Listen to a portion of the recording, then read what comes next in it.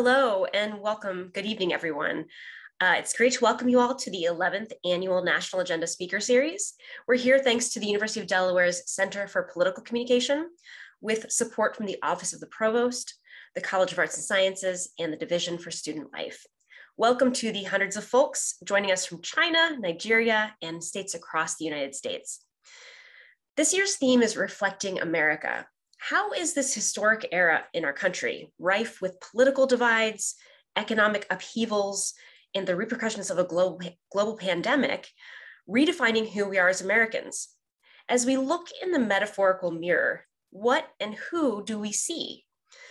We've also seen that Americans find themselves in increasingly narrow echo chambers with access to more information, but it seems like we can't even agree on basic facts, much less hear diverse viewpoints. But that's what we do here at National Agenda.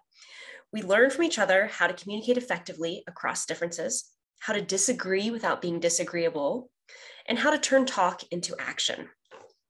This year, we've spoken with Appalachian novelist David Joy and NPR White House correspondent Asma Khalid about religious and geographic divides.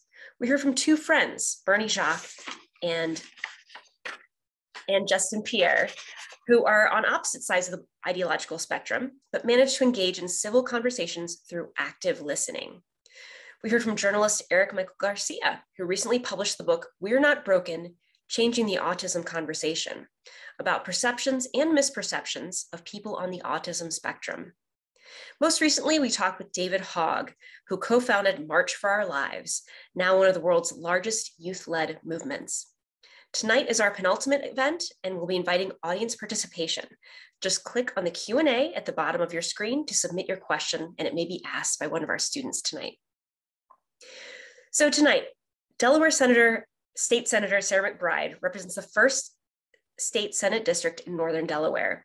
When she was elected exactly one year ago today, November 3rd of 2020, she became the first openly transgender state senator in American history, holding uh, the highest position as a transgender woman in American history. The Wilmington, Delaware native has worked for Governor, former Governor Jack Markell, the late Attorney General Beau Biden, and as a White House intern during the Obama administration. She also led the successful effort to pass a landmark non discrimination law in Delaware in 2013, worked with state leaders to expand healthcare coverage by, by Medicaid in 2014, and championed legislation protecting vulnerable youth from child abuse in 2017. That's all before she took office. For her work in advocacy, former Governor Markell awarded McBride the Order of the First State, making her one of the youngest Delawareans granted the state's highest civilian honor. McBride has taught uh, public policy at the University of Delaware and is the author of the 2018 memoir, Tomorrow Will Be Different, with a foreword by one of UD's most famous alumni, President Joe Biden. Please join me in giving a big blue hen welcome to Sarah McBride. Thank you so much for having me. It's wonderful to be on with you, Dr. Hoffman. It's great to see you again, um, even if virtually, but I'm glad you could make it. And I'm glad that so many of our viewers could make it as well. So I know you've told your story many times, but for those who may not be familiar with it, I wondered if you could give us a brief version of kind of how you came to be in the place where you are today. Sure. Well, first off, thank you again for for having me, and thank you so much to the Center for Political Communication for hosting this. I've attended national agenda events in the past, and so I'm really thrilled to be able to be a participant this year. And I, I love those opening credits. I feel like I was part of an action movie opening, so I'm, I'm ready to watch whatever that that show is. Um, you know, my journey to the opportunity that I have right now to, to serve as the state senator for the first Senate district in Delaware, the district I was born and raised in, in many ways mirrors my own journey to authenticity. Um, my interest in politics, my interest in government, my interest in advocacy really stems from my earliest memories as a young person, struggling with my gender identity. And I think even more than that, struggling with my place in this world. Because my earliest memories were of lying in my bed at night, praying that I would wake up the next day and be myself, that my family would still be proud of me, that my friends would still be my friends, and that I'd still be able to dream big dreams. Because at a very young age, what became crystal clear to me was that no one quite like me had ever made it very far in our society, that there weren't really examples in the 90s or the 2000s of trans people who are out happy, healthy, and fulfilling their dreams. And I, I think as a young person growing up, I feared that who I am and what I want to be were mutually exclusive. Um, that I couldn't be out and trans and live in a community I love, find love, do work that I love. And at, at a young age, I was really interested in architecture. And I, I, wanted to be an architect when I when I grew up. And I, I started reading books about different buildings. And I stumbled across some books about the Capitol and the White House. And what I was struck by and what I began to marvel at was not the buildings or the architecture itself, but rather the stories within their walls, the history that occurred within those buildings. And I think what became obvious was that the through line in our country's history, that politics at its best, that government when it's working right, is the story of advocates, activists, and a handful of elected officials working together to bring people in from the shadows and the margins to create a more equal and a more just world. And I found hope in that.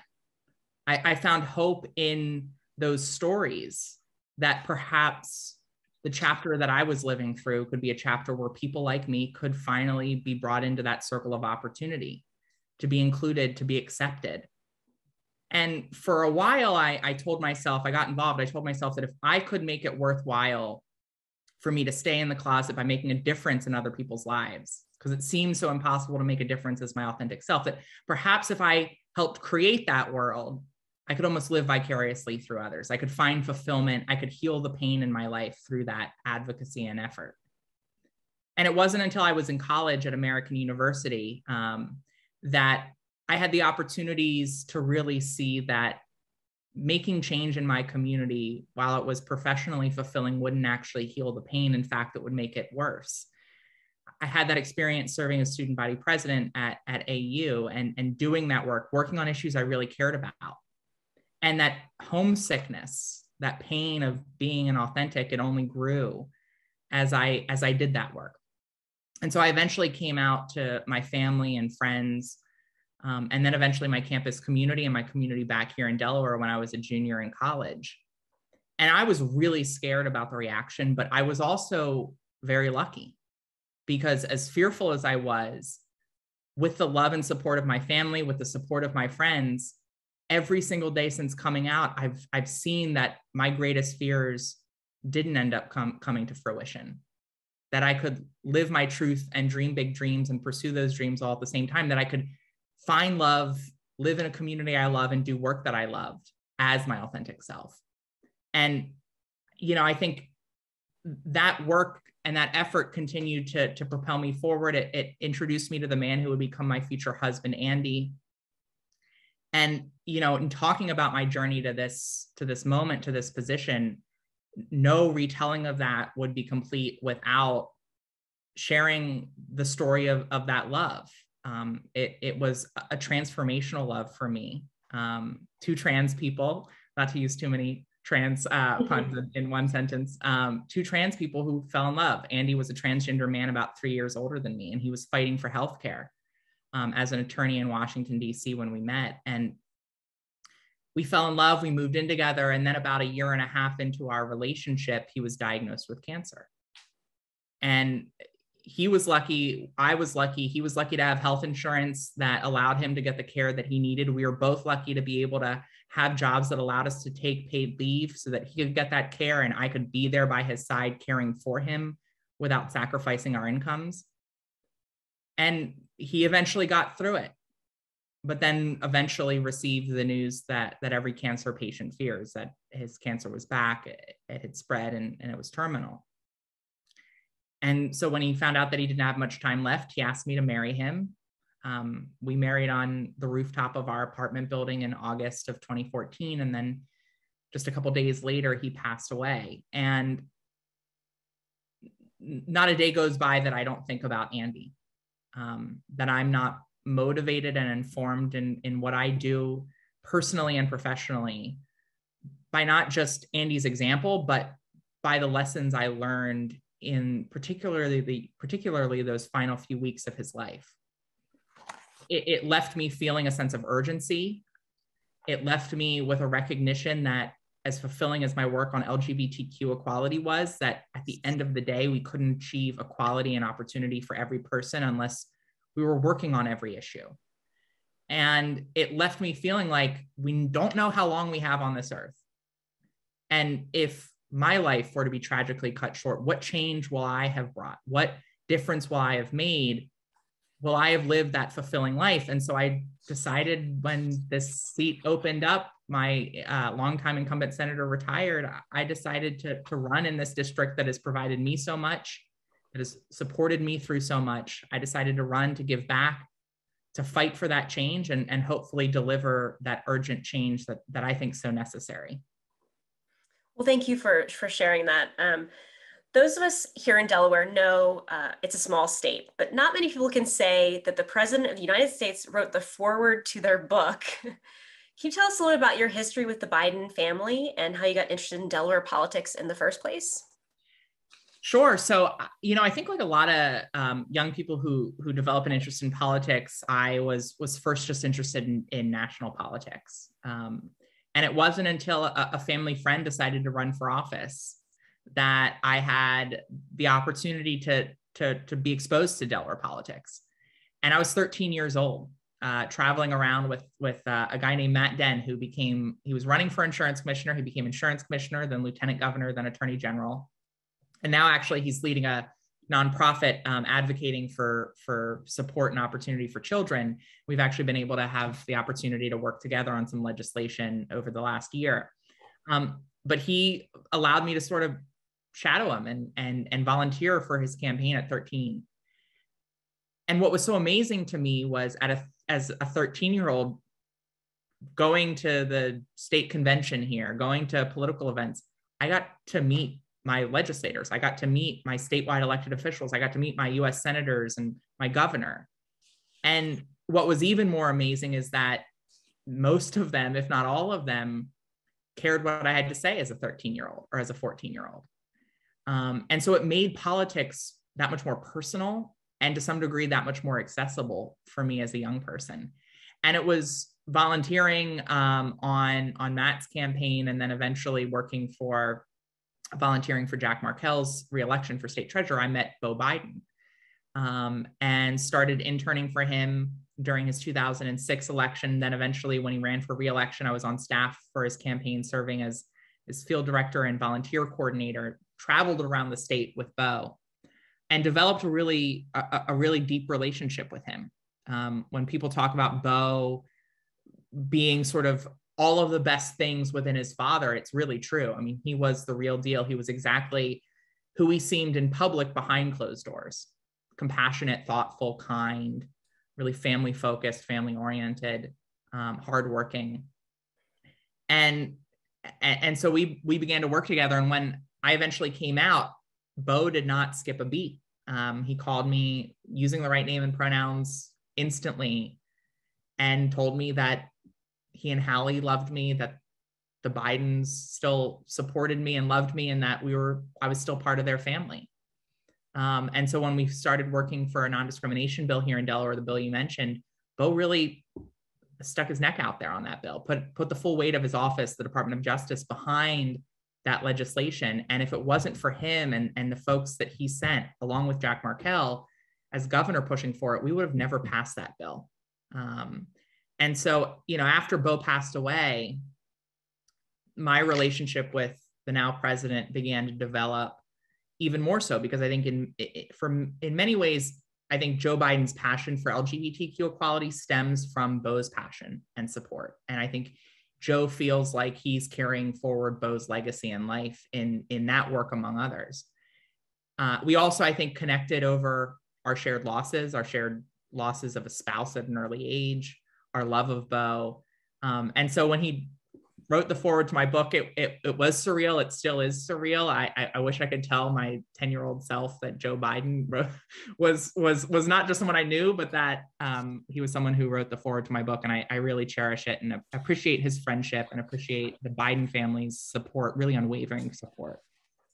Well, so speaking of, of President Biden, what are your expectations for the Biden presidency? What's he doing right, and maybe what could be improved? There's a lot of issues facing uh, the United States and, and the world. Uh, we're seeing the, the climate uh, conference taking place right now.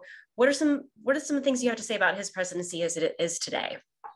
Well, you know, I'll say I am very excited about the the policy agenda that President Biden's put forward. Um, the Build Back Better agenda is really an agenda that one touches every major issue facing our country in some way or another, and for that matter, really focuses in on the issues that I heard day in and day out on the doors here in Delaware. The, the challenges facing caregivers in our society, whether those are the challenges facing parents, the challenges facing adults caring for aging parents, um, the challenges of, of, spouses caring for, for their loved one. Um, that those challenges, even before COVID, were the challenges I was hearing about every single day. They're the challenges I, I, I know about in my own life.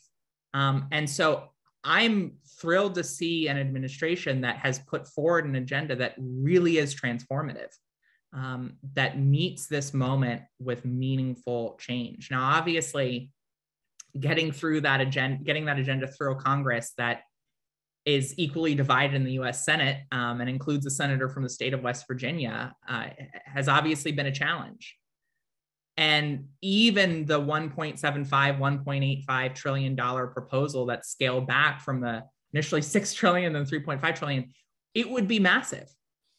I mean, the reality that that we could in this country have universal pre-K and truly affordable childcare, that alone transforms our social safety net in this country. Um, and when you couple that with the other provisions of the bill, which has, was sort of whittled down and then actually each subsequent day has actually sort of expanded a little bit with the re-inclusion of the prescription drug reforms.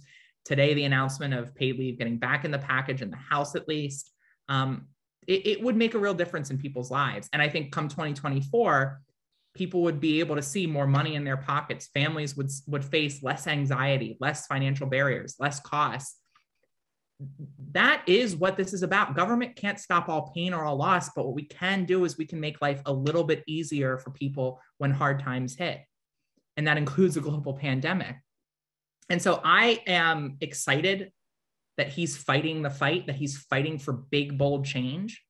Um, you know, I think the challenge that he faces, and I think it's a challenge that any president faces, uh, it's a challenge that any elected official faces. Is the challenge that you alluded to um, in in in your opening, um, and in the conversations that we've had around the the Center for Political Communication is speaking across that political divide in an environment with a bifurcated legacy news media and an individualized personal news um, uh, media. It, it's really hard to break through to 50% of the country. Um, and it's really hard to get your message across.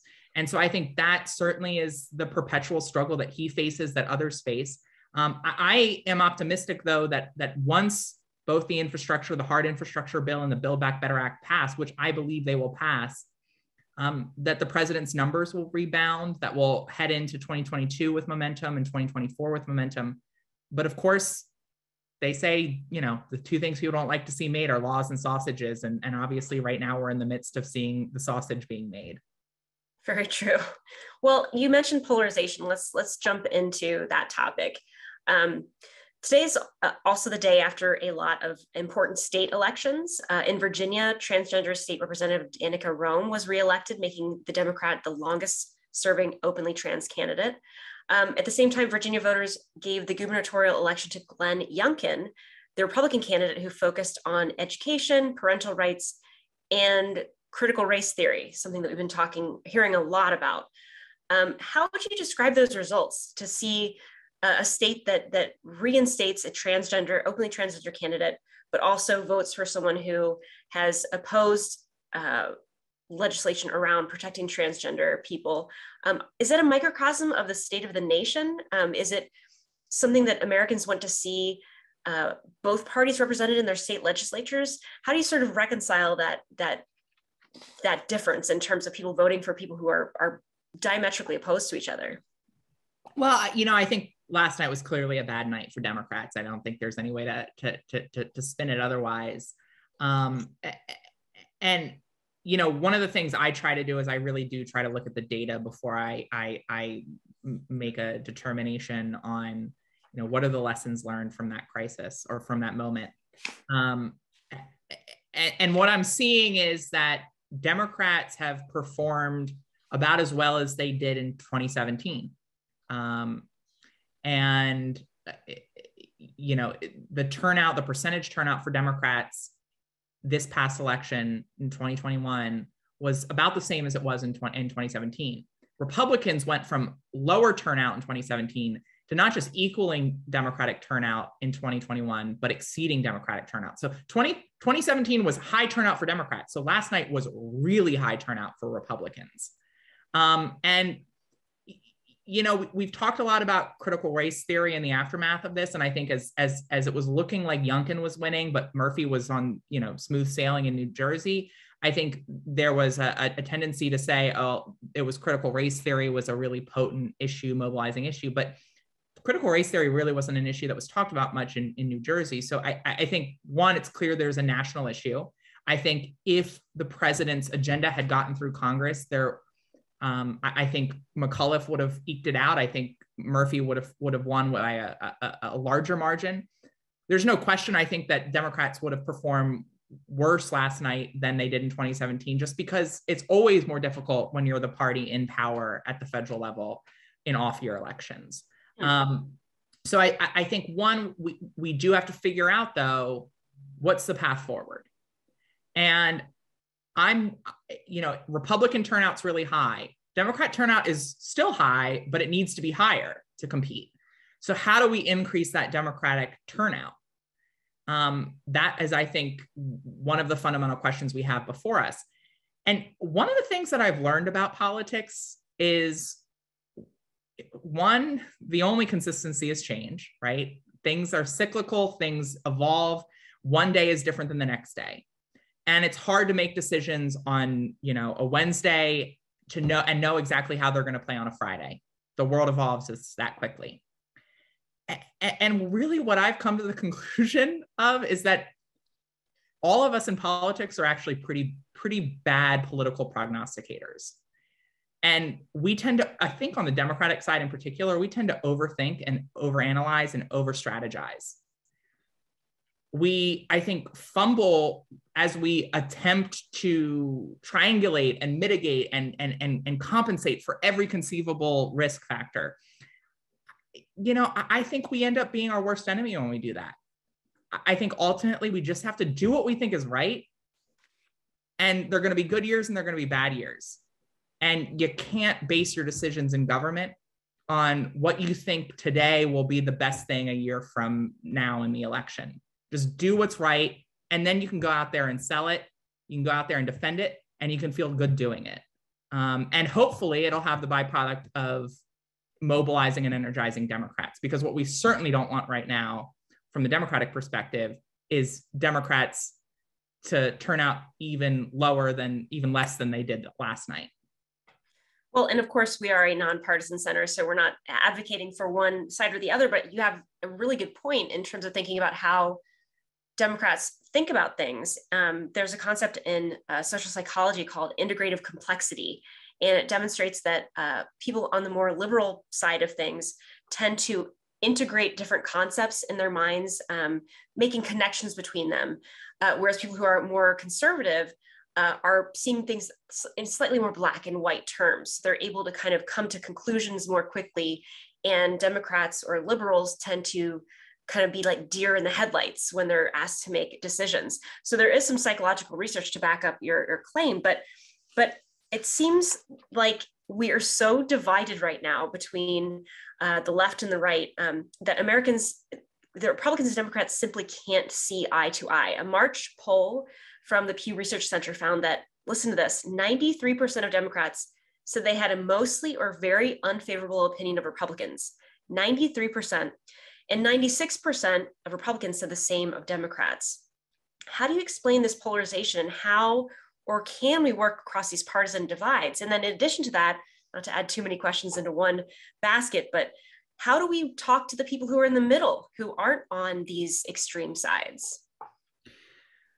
So I, I, I think there there are a couple things that that that come to mind for me. Um, one is that running for local office is, I think, sometimes the best antidote to the toxicity, negativity, and division of of of politics. Because when you go door to door, when you have conversations with voters, I had a lot of them on the phone actually because it was the pandemic, which was interesting. Cold call, having to cold call people you really do see how much we actually have in common, even if we don't see it, even if our politics doesn't reflect it, even if our sort of I, I, I, our identity um, attachment to whatever group we're a part of supersedes it when we're getting asked those poll polling questions. What is keeping Republicans up at night is largely on a day-to-day basis similar to what's keeping up Democrats. Um, it's you know how do you afford the mortgage? It's how do you pay child care for childcare? How do you get back to work? It's you know how do you afford your treatment?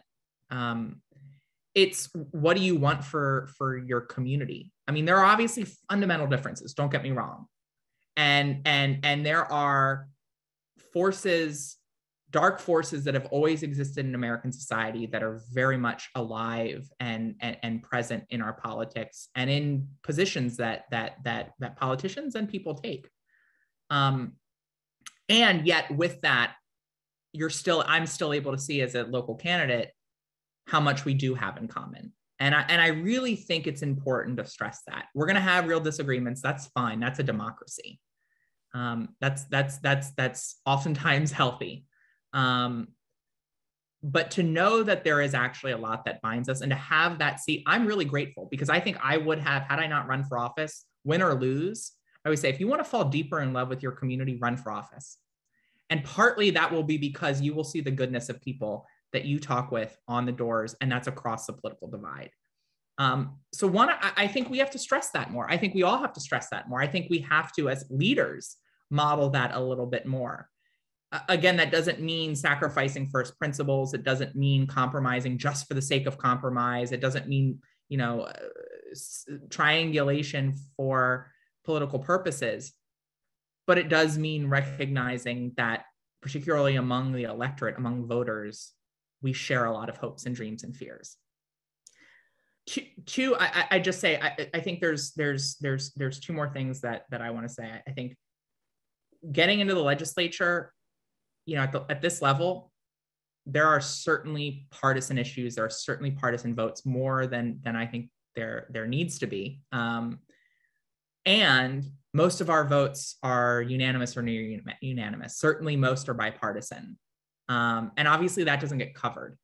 And that doesn't get covered in part because uh, we were talking about this before uh, this started with with Nancy Karibjanian. Is is the the decreasing prevalence of local news in our society, covering the issues. And so the, the limited bandwidth that local news has to cover the legislature or city councils, um, it's going to focus on the polarization, on the fights, rather than on the good things that we're doing that we're actually working together on.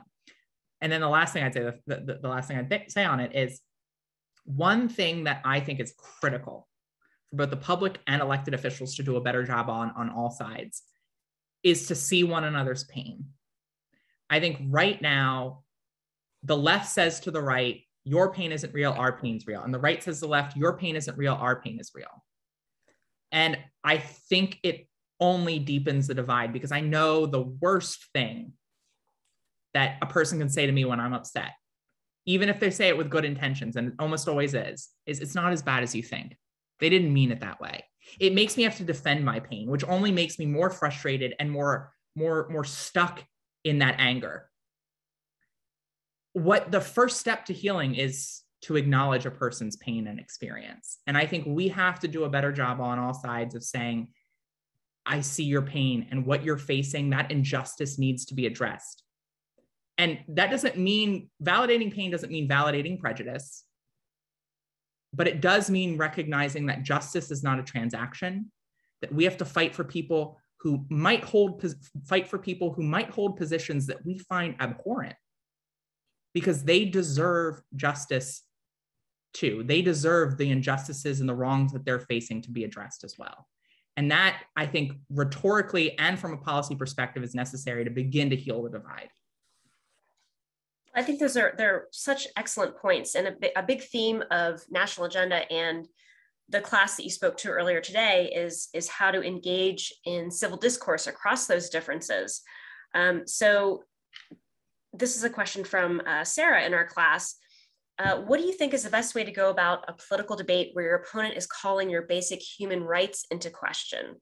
Where do you draw the line between good faith and bad faith in these types of scenarios? Listen, you know, I think there are issues where we agree on a value and we disagree on the path to achieving that value. And then there are disagreements about values. And I think when we're talking about basic civil and human rights, that that's a disagreement over values. Um, and you know, one, I think, I think that I'm gonna. I think one of the tendencies that that that we see right now in our society, and we see it very much on social media, is that we consider it good allyship to cut off relationships that are deemed problematic because one of the parties in that relationship has problematic views. And I understand that instinct. Um, I certainly understand for a person who is directly impacted by a, a particular belief to say, you know what, this person, whether it's unfriending them on Facebook or stopping engage, stopping engaging with them, you know, in person, that they are causing me real pain. And for my own mental health, for my own well-being, for my own self-care, I can't, I can't engage in this conversation, or I can't even engage with this person. I think that's entirely fair. Where I think it actually becomes counterproductive, though, is when we say, that allyship is cutting off those communicate those lines of communication. The last thing I want is that person who's posting anti-trans things on Facebook to be in an echo chamber that only validates those positions. I want them to be exposed to my friends who support me. I want them to be exposed to their viewpoints. I want them to see the articles that they post on social media. I want a conversation. I want someone there to help challenge them. And so, you know, I think when we're talking about these questions of debates around basic human rights, I think it's entirely fine for a person who's at the center of that conversation, whose identity is directly impacted, to say, for my own, for my own wellness, for my own health, I'm stepping back. But I think as allies, for all of us who in some way are an ally to someone else, to another community, we need to recognize that we are abdicating our responsibilities as allies if we cut people out that we should have to lean into those conversations that much more. And I think that's how we change things. And I think further, as we continue to get stories out there around people, you know, there are moments where you're just not going to get through to someone in that single debate. And that's frustrating. But over time, I do think most people can change. Most people can evolve. And I've seen that. And the more they're exposed to stories, the more they're exposed to people, the more their hearts and minds will change. Um, and I think one of the challenges we face is how do we replicate that which has occurred for communities like the LGBTQ community and the disability community that organically exist throughout the diversity of society. They're born into families of every race and every political affiliation in every corner of the country. How do we replicate that for communities where physical segregation exists? That's one of the challenges. That's where social media can be both an asset, but also uh, a negative. Well, so speaking of social media, um, you are a public figure who's openly um, transgender. How do you deal with online hate and harassment, and how do you recommend uh, marginalized folks handle such speech online? You know, I'm I'm the type of person that so often reads the comments. Everyone always says don't read the comments, and I sometimes can't help myself. Oftentimes, my fear of what is being said is actually much worse than what's actually being said. So seeing what's being said, I'm like, oh, okay, I can deal with that. Um, you know, the last 10 years, I've been in the public eye in some form or fashion um, as an advocate, uh, and then a candidate, and then an elected official. And in my advocacy work, I got a lot of a lot of feedback, uh, mostly positive, but also a lot a lot negative. And it's always even if you get 99 comments that are positive, it's always that one negative comment that sticks that sticks in your mind. Oh yeah, I, I get student evaluations. I, I I know how it is. Yeah, right. It's it's it's it's you can't get past that one. Um, and and for a while, I really took that that hatred, that bullying, that bigotry, that that that that those mean comments. I took it to heart. It, it hurt. And there was a point in my career where I thought, I maybe I don't want to do this. Maybe I don't have thick enough skin because this is this is getting to me. I mean, it was it was it was almost debilitating. And uh, there was an inflection point for me when I, I, I sort of had this crisis of confidence, and I spent a lot of time thinking and reading and researching. And I came across a This American Life podcast where there was a reporter who confronted her troll. Um, I don't Lindy know. We- Lindy West, right? Yes, actually, right. Yes, exactly. Who, who, who, um, I think wrote also Shrill, right? The, yes. the, the, the TV show. Yeah. Mm-hmm. Lindy, thank you. And in listening to the conversation that, that, that she recounted with the person who was her troll in that This American Life, I think it really helped me to understand where the hate was coming from. And a lot of times people say, oh, those who bully LGBTQ people, they're just they're just in the closet themselves. And yeah, in certain circumstances that might be true, but it, it I think I think it ignores a larger, similar but more universal truth, which is that everyone has an insecurity. Everyone has something that society has told them they should be ashamed of. And whether it's your sexual orientation or your gender identity, or honestly, any other infinite number of things that society says you need to hide that, everyone has something, at least one. And the thing about LGBTQ people is we've taken that fact, we've not only accepted it, but in many cases, we are walking forward in a place of pride in it. And the bullies see that power. They see that individual agency in conquering our own fears and insecurities, and they're jealous of that power. And so, in their attempt to assert power over the powerful, in their attempt to make themselves feel better, that they haven't been able to conquer that fear, they lash out.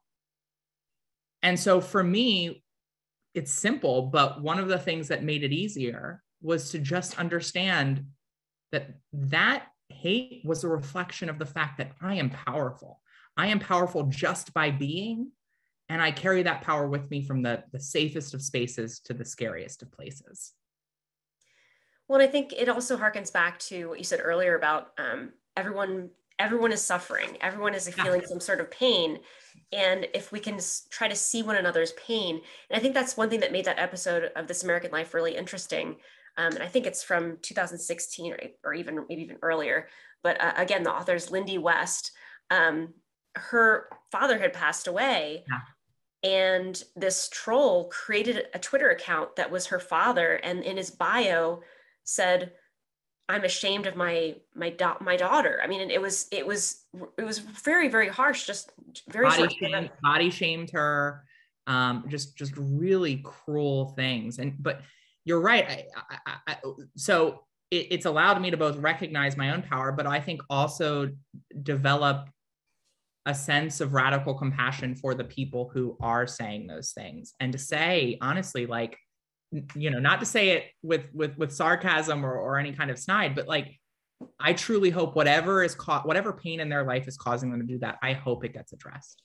Yeah. Well and i think that's what made the conversation so interesting when she did have the conversation with her troll and he, he revealed i think if i remember correctly he was he had been dumped by his girlfriend and he was feeling very resentful and angry and um, you know it was a very candid uh, conversation that you don't hear very often and i think it's something that we try to do at the cpc and through national agenda is demonstrate that you know we we all have pain and trauma and as well as as delightful happy experiences to share with one another um, and I think that's where we need to start from is not start from I'm a Democrat and you're a Republican or I'm this and you're that. But um, this is one thing I really like about uh, Sarah. You'll have to come to campus and engage in one of our free intelligent conversations. Um, this is something that we're doing on campus where uh, I don't think I have the signs here, but our students are holding up signs that say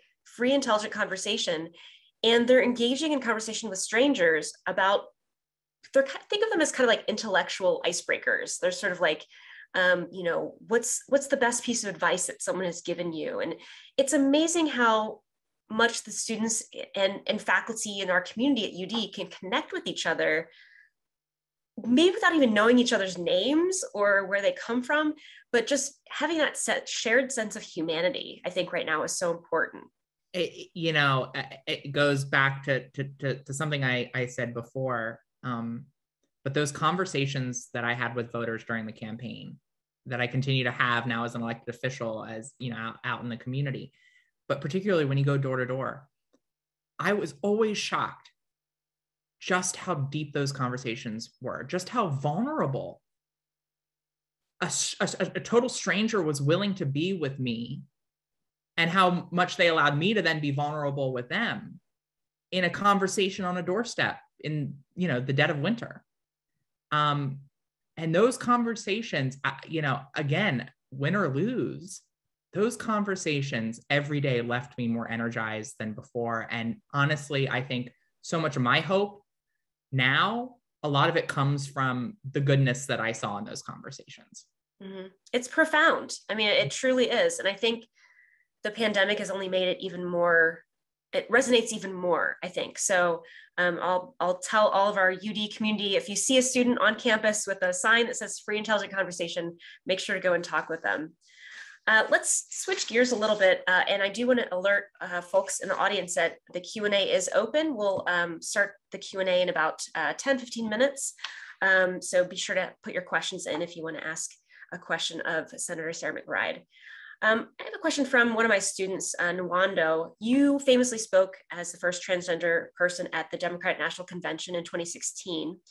And you stated, we will be a nation where there's only one way to love, one way, will we be a nation where there's only one way to love, one way to look, one way to live, or will we be a nation where everyone has the freedom to live openly and equally, a nation that's stronger together?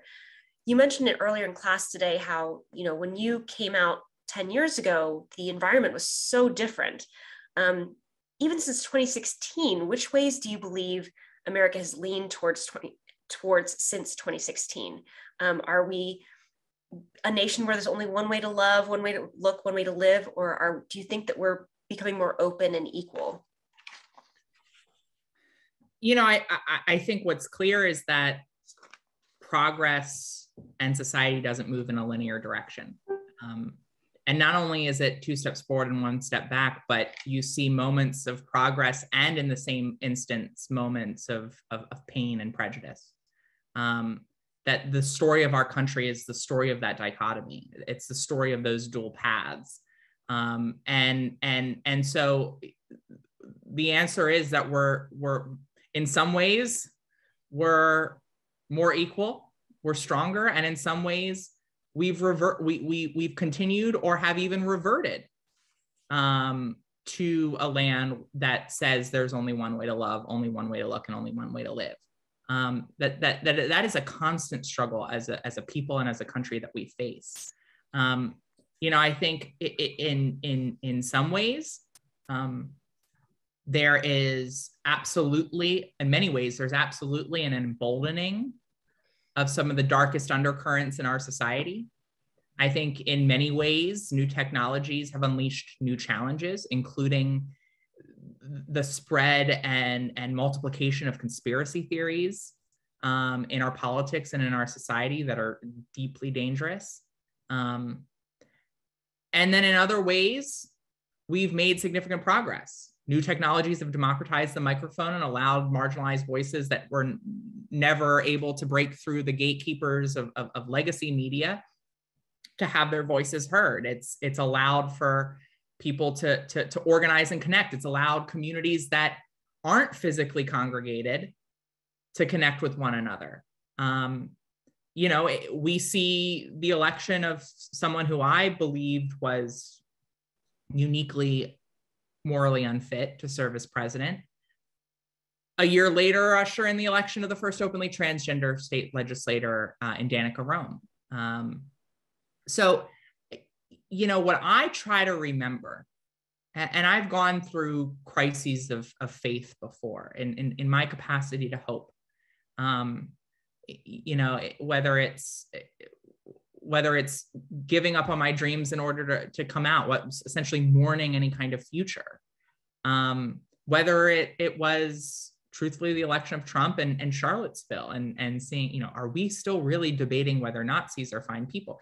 There there there have been moments in my life where i wonder have we really not made any progress but I, in my own life, have been reminded of, I think, a, a, simple fact, and I think we have seen it over the last year, which is that hope as an emotion, like quite literally, hope as an emotion, as a phenomenon, it only makes sense in the face of hardship. That the story of our progress is always the story of change coming through crisis of the darkest hour being just before the dawn. Um, and I've seen that in my own life. When, when Andy was passing away, my brother, who's a radiation oncologist, he said to me, Take a breath, look around you, and take stock in the acts of amazing grace that will fill your life. And that grace was everywhere.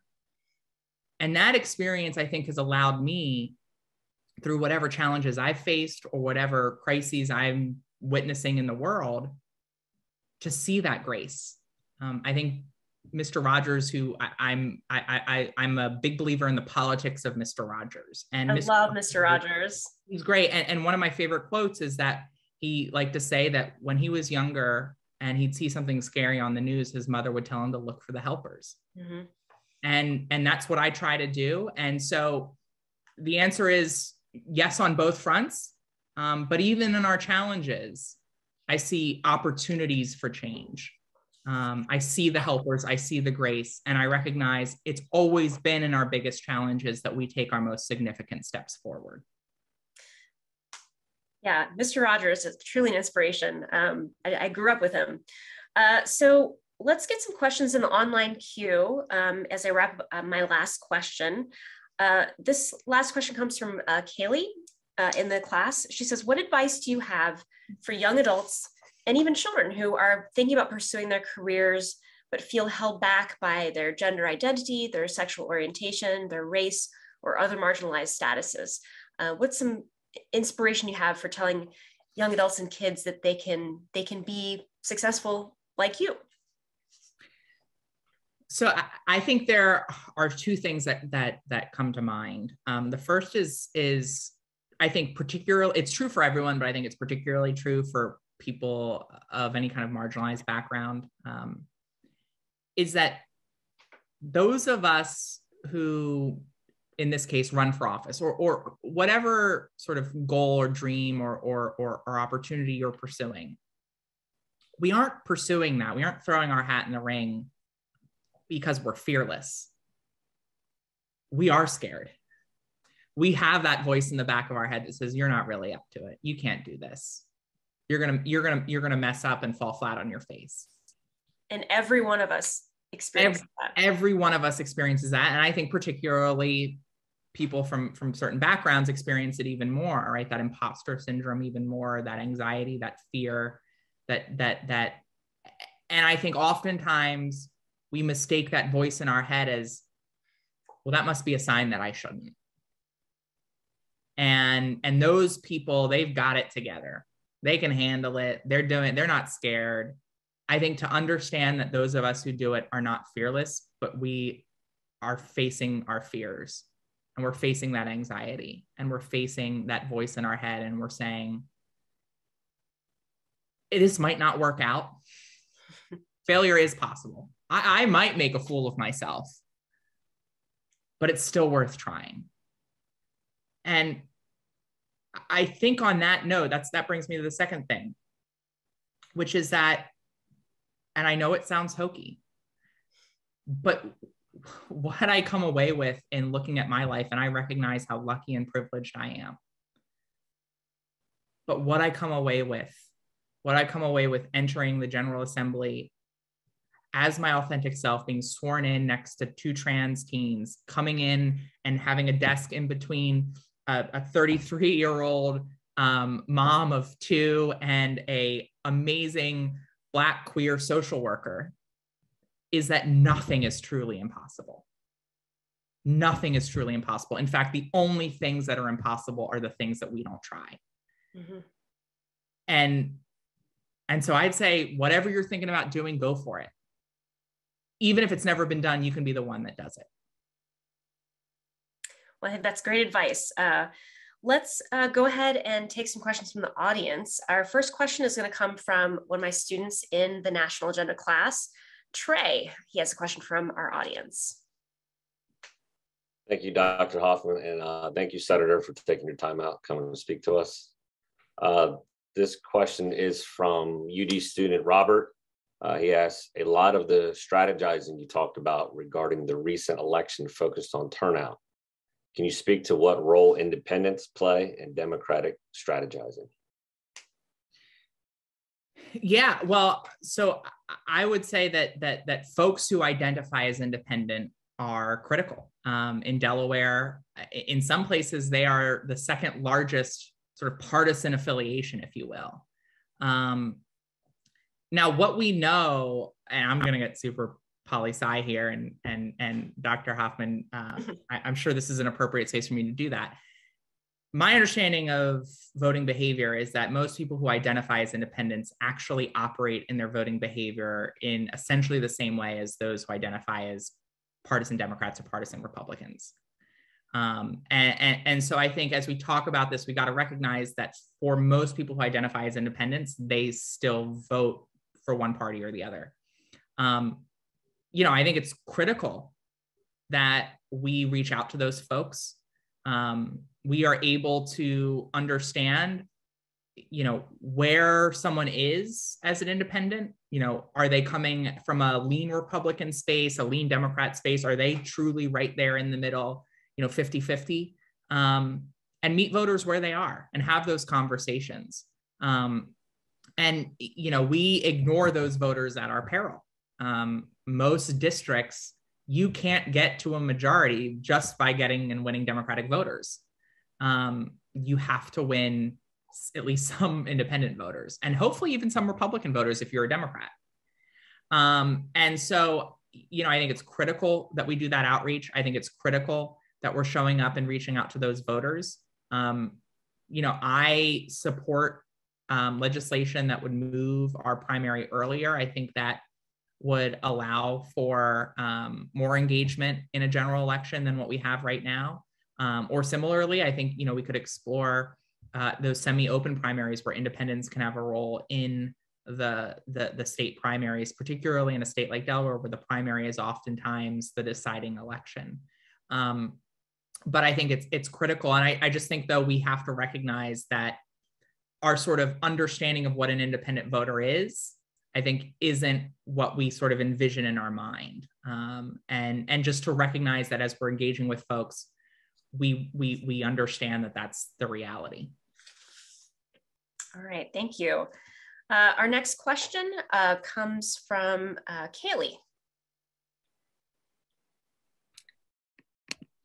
Thank you. The next question comes from Becky Stewart of Newark, and she asks, what do you think about Delaware's opportunities for meaningful climate resiliency as an equity issue in a small coastal state? It's it's so important. I mean, by every study, Delaware is either the, the lowest lying state or the second lowest lying state in, in the country. Um, and I, I think there's a number of things that Delaware should do um, to one, uh, adapt to the climate crisis and also to do our part to prevent the climate crisis. Um, so, you know, in terms of, of, of prevention, obviously we have to be much more cognizant of new development, new construction, and how the threat of climate change impacts that development, and to ensure that we're not just continuing this tendency of lower income communities, communities of color living in environments that flooding is more likely. The, the storms of the last, uh, the, the, past season that we saw in Wilmington, um, there was there was flooding in, in various parts along the Brandywine River, but the worst flooding happened in predominantly Black and Brown communities. Um, and we have to recognize that as we move forward, as we look at infrastructure ahead of us, you know, there's obviously a lot of talk about hard infrastructure. As we look at infrastructure, whether that's roads, bridges, or houses in particular, we've got to make sure that we're preparing everyone for what's happening to our planet and that we're not just pretending like it's not happening and continuing to, to push low income communities and black and brown communities um, into environments where they're being displaced because of now routine flooding um, and you know similarly there's a, a, an initiative my colleagues representative larry lambert and um, uh, senator marie pinkney are, are, co-chairing called the justice 40 uh, agenda committee uh, they've been meeting across the state to really figure out how to approach environmental justice with a stronger equity, particularly racial equity lens. Um, and that's a byproduct of, of the Biden administration, its implementation at the state level of a Biden administration initiative. Beyond that, though, you know, there's so much that we can do in Delaware to, to, to do our part in preventing um, the climate crisis or reversing or stopping the climate crisis. Um, I think one big area that's been left on the table that we have not seized yet is, is wind. We are the only state, I believe, on the Eastern seaboard that doesn't have a commitment as a state to offshore wind. Um, we should be pursuing that. And, and that's actually why we commissioned as a legislature a study to figure out exactly the path forward for the potential for offshore wind. This past legislature, we did increase what's called our renewable portfolio standard, um, which is essentially the standard that the state has to, to meet of the energy that we produce and, and use that has to be come from renewable sources. We've increased that standard. And then on top of that, we actually also started a, a community solar program here in Delaware. Um, and then finally, a, you know, an issue that I'm particularly passionate on, and, and I actually didn't expect this before I got into the legislature, but for some reason it's, I, have just found it to be so important and fascinating is the shift to electric vehicles um, and building out our infrastructure and policies to reflect that shift, which is not ideological, it's imminent and it's inevitable. Every automobile manufacturer in the United States has announced that they are moving in this direction in the next 10 or 15 years. And if we don't prepare now, before demand for EV chargers and EV ready homes is at a fever pitch, if we don't adapt now, if we don't plan for that, we're going to be very far behind. We're going to be playing catch up. We're going to be in a moment of crisis. Um, and the, the market has made clear where it's moving. The planet demands that we move in that direction. Uh, and we as a state have to prepare for that shift. Uh, that's why I passed legislation through the Senate that requires our largest cities to create permit processes for um, curbside electric vehicle charging stations at home. Um, since at this point, still home charging is about the most practical way to, um, uh, in a sustainable way, continue to recharge your your car. Um, and for a lot of folks who live in urban environments, they don't have access to on-property parking. So one piece of legislation that we've already passed through the Senate requires municipalities, large municipalities in Delaware, to create a permit process to allow for that. And then the second companion piece is going to require, I haven't introduced it yet, but it's going to require all new home building in Delaware to be EV capable. Um, and I think those are, are, are two important parts of a larger strategy we have to engage to prepare for, adapt to, uh, and seize this massive market shift that's the most significant market shift since probably the advent of the internet and before that the creation of the automobile itself. Hmm. um, yeah i mean this is certainly a relevant topic with uh, cop 26 happening right now. Um, how much hope do you have uh, that world leaders will really affect some change? Or do you think that this kind of change needs to happen more at the state level with with proposals like you're describing? Oh i, I mean i think it has to happen globally. Um, you know we can do our part but we do not have the capacity um, state by state uh, and, and frankly recognizing that half the states if not more are not going to do anything at the state level we don't we we can't we can't piecemeal our solution to this crisis. There have to be nationwide and even more importantly global solutions, which is why COP is so important. Um, and and why I'm I'm I'm I'm hopeful that there will be. I mean the the the, the Build Back Better Act, even scaled back, is the most significant investment in addressing the climate crisis that we've ever seen. Um, and the president is you know able to go to, to was able to go to Glasgow with the strong potential that something's going to pass Congress that will allow him to say we're, we're, we're as America certainly stepping up more than we have in the past to do our part. We still got to do more, but it's a it's a it's a it's a good investment. It's a long overdue investment, um, and and I'm excited to see hopefully that pass Congress.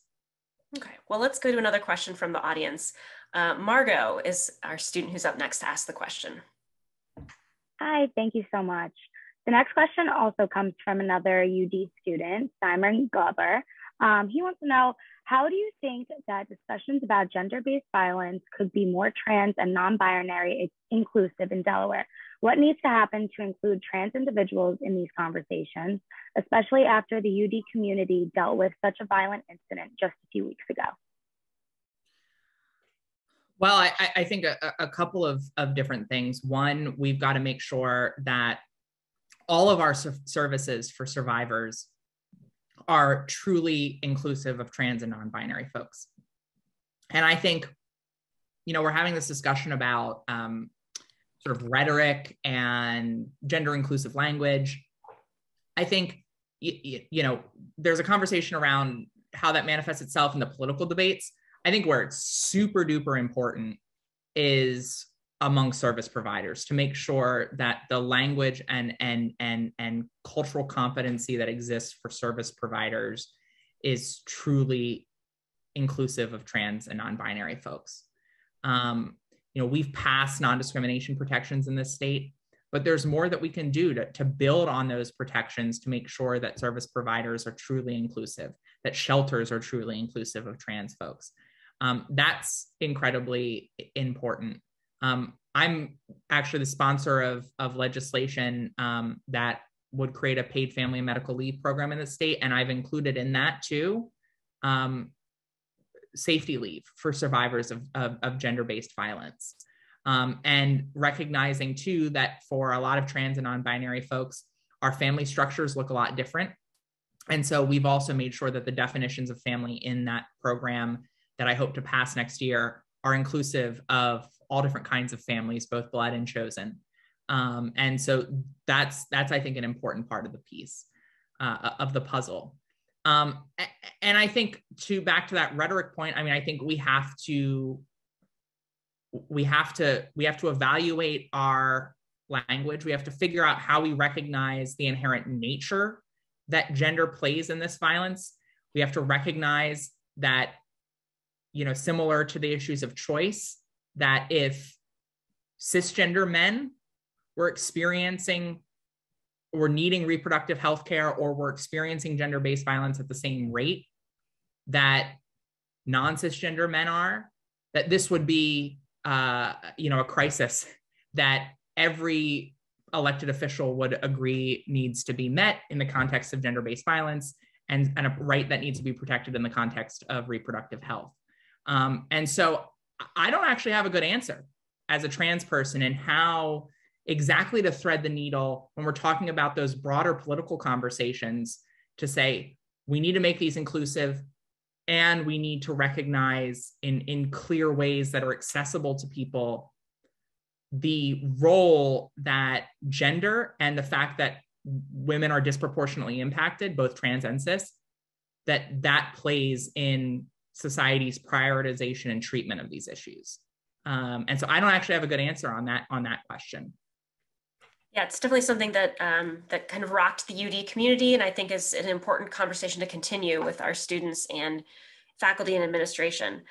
Um, let's move on to another question from the audience, and uh, Sarah, a different Sarah, is going to ask this question. Thank you, Dr. Hoffman, and thank you, Senator McBride, for being here. Um, so I know earlier we were talking about allyship. So this question from UD student uh, Luca Haverbeck is kind of calling back to that. So he's asking, um, how can cisgender people best support trans people in everyday situations? Is it just mindful language or are there more options? Great question.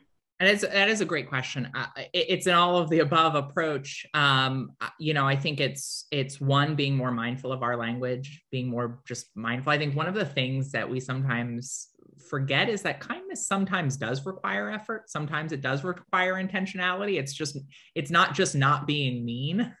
Um, and and and I think recognizing that sometimes there's behaviors that we have to unlearn. There's behaviors we need to change um, that might not be rooted in in bad bad faith or or bad intentions, but still obviously have the consequence of of potentially hurting someone. Um, and so I think one, it's being more mindful. It's recognizing more broadly that kindness takes effort.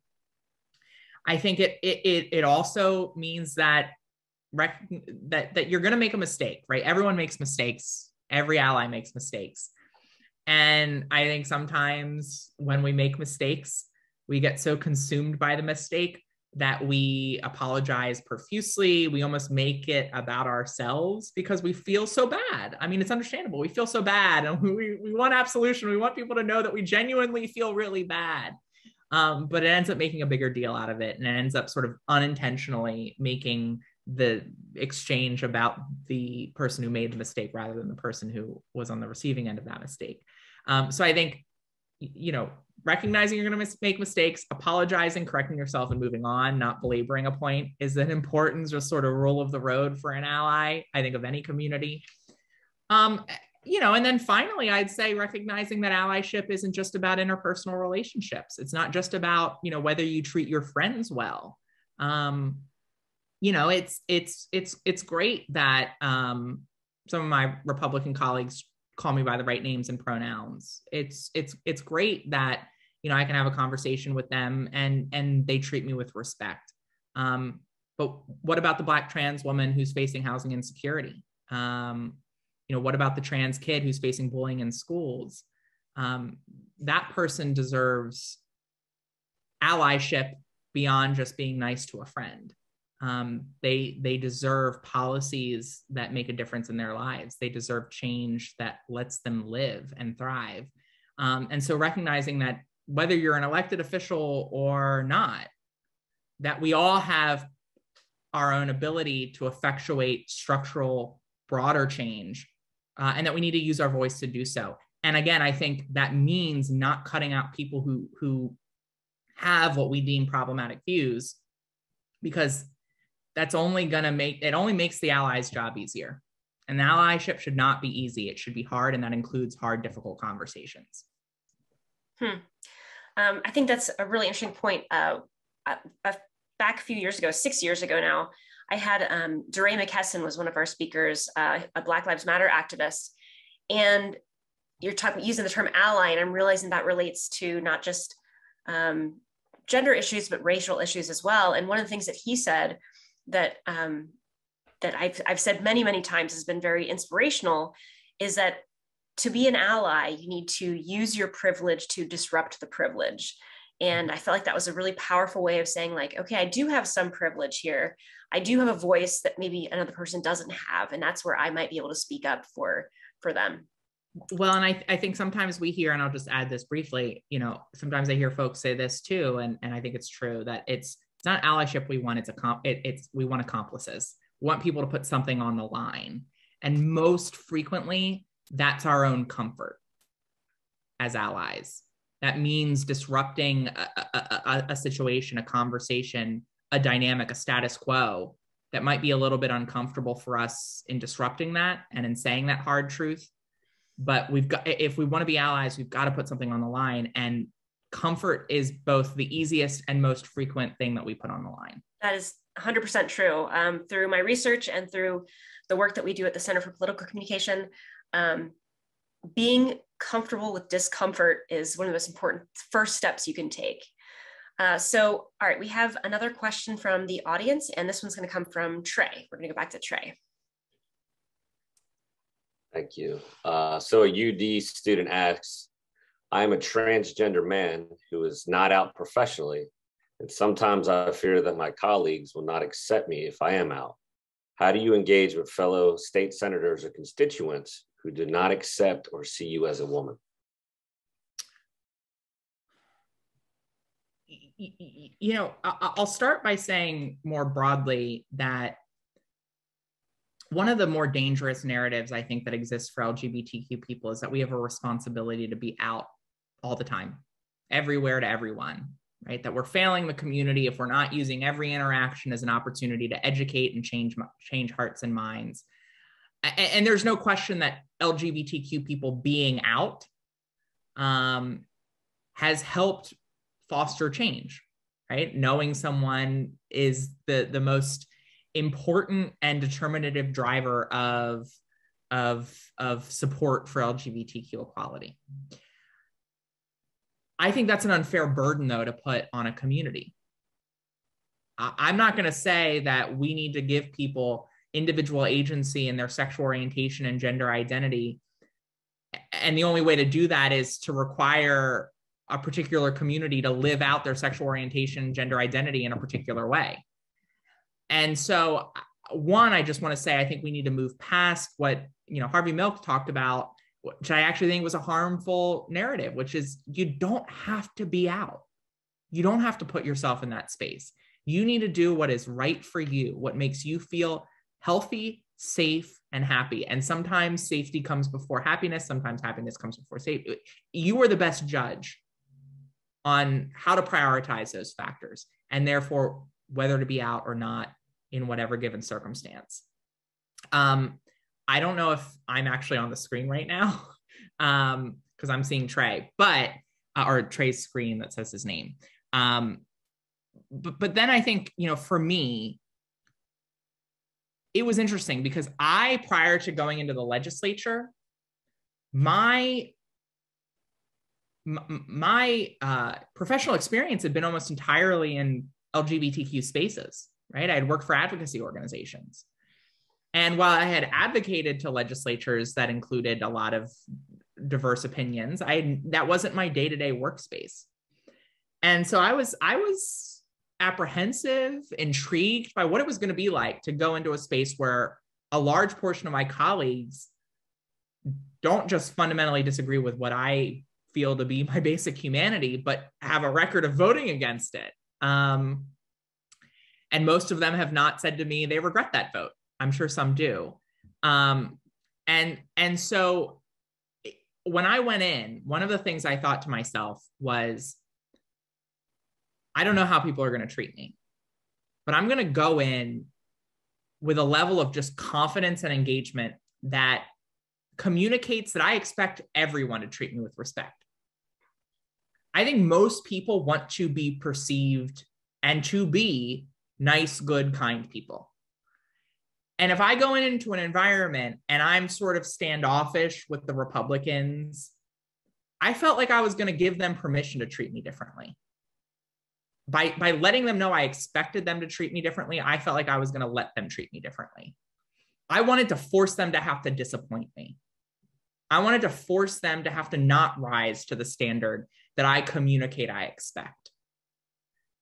And so I, I, I sort of went in with that with that mentality. And I will say that the 99% of my interactions um, have risen to that standard.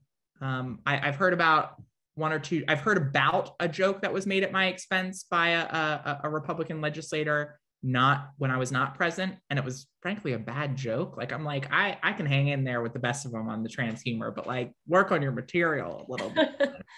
um, but you know, 99% have been positive.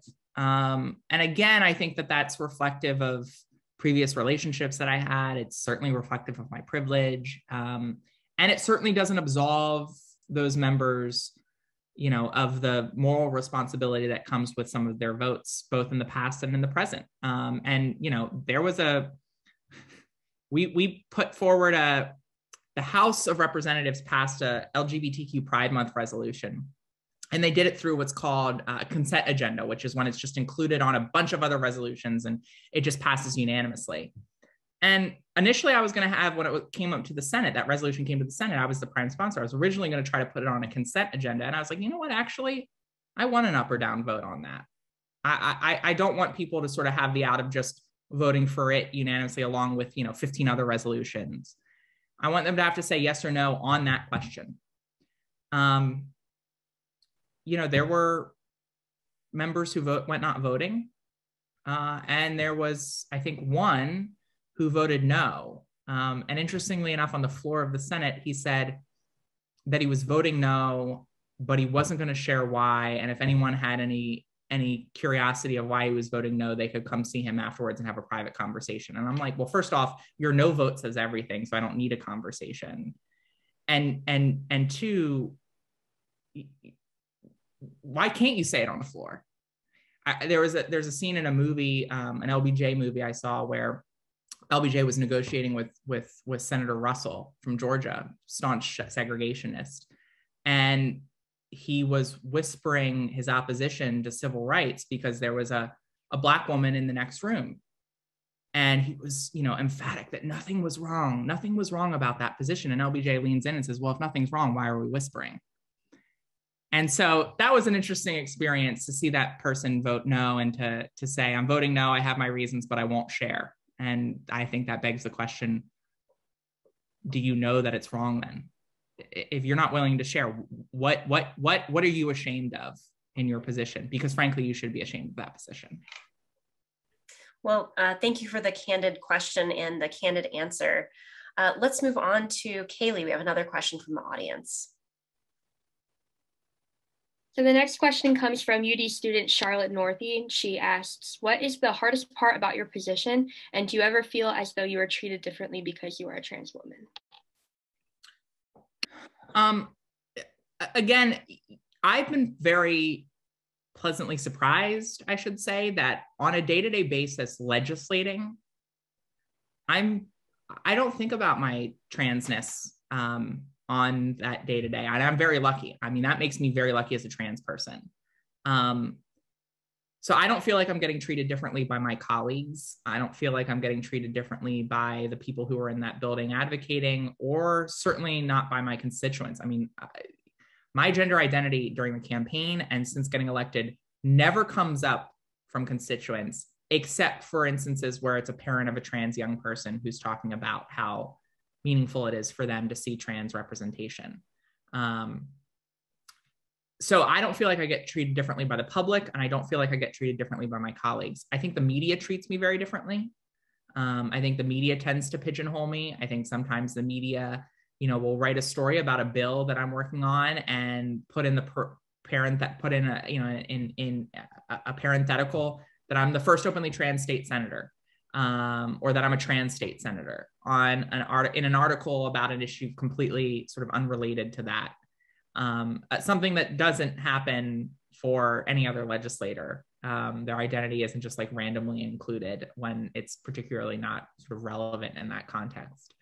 Um, the media's focus on my identity, the media's elevation of my identity, sometimes creates a challenge of being able to be seen in my full complexity and being able to see, be seen for all that I'm working on. Um, and that was particularly true during the campaign. I think it's less true now that I have this opportunity and this platform to demonstrate the breadth of my interests and experience and passion and, and results. Um, but it's something that I still certainly struggle with. I think the the, the hardest thing coming into this job, um, you know, is is the is the fact that there's a lot to do. Um, change making is hard, but there's a lot to do, and governing requires prioritizing. And I'm someone who, when I see a problem, I want to help solve it. Uh, and so figuring out how to prioritize, figuring out how to triage, figuring out how to do a handful of things really well rather than trying to do everything not very well. Um, and, and that's hard. It's hard for someone like me. It's hard, I think, for most people, but it's a necessity in this kind of job. Um, and, and that doesn't mean that you let issues get unaddressed. It just recognizes that they're going to be other people who might take lead, other people who might be working on that. You don't have to be, you know, in every conversation working on every issue. You got to pick the issues that you feel like you can make a difference on, prioritize those, really fight for those, and you're going to get them over the finish line if you do that. Okay, great questions. Um, I think uh, I think we have time for one more. Let's go with Margot. Next question is from an UD alumna, Rachel Sawicki. She asks, you said earlier that local government positions are the best antidote for toxicity and negativity in politics, but do you have any experience, a significant experience uh, with divide and toxicity in Delaware's government specifically? New Castle County is very liberal leaning and Sussex is very conservative leaning. Does that ever create an issue? Sure. I mean, I think the greatest divide in in in our country is not between red states and blue states. It's between sort of urban, suburban, exurban, and rural. Um, and and that's true in every state across the country. It's certainly true in Delaware. Um, and obviously, that means that legislators come to different issues with different perspectives, and certainly with different constituencies. Um, you know, one of the challenges starting this job was I started it remotely. And it's an inherently relational job and it's difficult to develop relationships over zoom. Uh, and and so what i've tried to make up for in the last time is to to meet one-on-one with colleagues from different parts of the state. I just had a great coffee I, I, I, and i go to them i it's not me you know having summon people up to, to the big city of wilmington you know i go to them or i meet them halfway uh, and we have a cup of coffee and you know, I ask them things like, you know, what what what sparked them running for office? What are some of the issues that really uh, matter to, the, to their constituents? What are their priorities? Um, I think it's important for all of us in the legislature to understand the diversity of our state um, beyond our own districts. Obviously, we are there to represent our districts, but we need to get an understanding of what the rest of the state is and looks like and thinks and feels. Um, and that includes Sussex, it includes Kent, it includes rural communities, it includes beach communities. Uh, and that's certainly something I've, I've tried to do. It's been hard with COVID, um, but it's important for me uh, because ultimately, while I represent a district, my, you know, 120, 120, 120th of a vote in the legislature, in the Senate, you know, that impacts an entire state. And I have to be cognizant of, of, of how it impacts people in my district, but I also need to be cognizant of how it impacts people in Seaford or in Dover or in Bethany. Uh, and so I think those conversations aren't just important in breaking down the divide between legislators interpersonally, but also to make sure that all of us are able to have as much information at our disposal when we're making decisions as possible. Um, and frankly, it's the only way to do the job because at the end of the day, I have to I have to advocate to 62 different people or 61 different people. Um, and and get a majority of of of that of those 61 in some cases a super majority of those 61 other people. And in order to meet people where they are you know it's not always an intellectual exercise. It's it's oftentimes politics as we've talked about is often emotional uh, and you've got to to speak the language of the person that you're talking to. Otherwise you're not going to reach them. And the only way to do that is to understand that person to understand where they're coming from. And that has been an important priority for me now that we sort of get back to in person to make up for that lost time develop those relationships bridge that divide that does exist between you know above the canal and below the canal. Uh, i think that's so important to be thinking about um, how the decisions that you make affect not just your constituents but but everyone across the state um, so i do want to have, have one final note before I give a few announcements and we wrap up and say thank you. Uh, the transgender man man who was not out uh, wanted to say this to Sarah. Um, he said, "I appreciate that you pointed out that I and we don't have to be out in every setting." And I so admire you for being out and proud and representing us in this world. I will take these words to heart. Thank you. So I don't know if you wanted to respond to that. Well, first off, thank you. And, and thank you for sharing yourself in that question with us um, and, and, that vulnerability. And, you know, it, it's incredibly hard. I mean, even if we make that choice to not be out in a circumstance because of our own safety or, or because of the fears of what may come, it, it, you, you then you then feel invisible. And I think people who aren't in our community don't often understand how demoralizing and how affecting that feeling of inv- invisibility can be. Uh, and and how important these parts of our identities are for us. And so I just want you to know that I see you, I hear you, and there are so many other people I think across the state who are working both in our community but beyond to try to build a world where we can all bring our whole selves to work and it not be a huge deal, but it also not be something that we have to hide, that we can feel safe and comfortable being our authentic selves and sharing all of ourselves with one another. Well, on that note, before I say thank you, um, I do want to ask our producers to pull up uh, a couple of slides just uh, to indicate where we're going um, next in national agenda. Um, and first, I wanted to point out uh, that our, our, next speaker is uh, Nikkolas Smith. He calls himself an artivist. He's an author and an illustrator, uh, most recently of uh, the book that will come out the day before November, it's actually 17th. Um, that date is incorrect there. It's November 17th. Uh, his book will come out on November 16th. It is the uh, children's book that's accompanying the 1619 project, uh, written by Nikole Hannah-Jones.